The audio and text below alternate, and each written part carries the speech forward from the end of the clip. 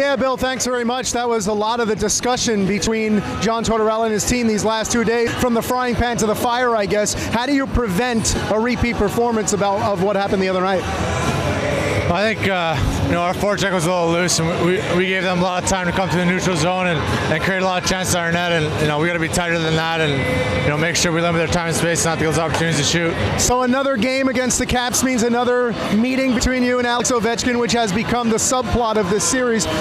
He hasn't scored in a season high five games. Do you expect, if it's possible, for him to be any more ratcheted up tonight? Uh, I don't know. He, he, always plays hard. I think uh, you know, obviously, know, he's got a great shot, and, and, he's always looking to take it. I think uh, you know, as a, as a five guy unit on the ice, you got to make sure you know where he is, and, and, you know, try and shut it down as best as possible. And now you guys will use Alex Auld in net tonight. Do you conduct yourself any differently as a defenseman? Does your team do so when you have a guy playing for the first time?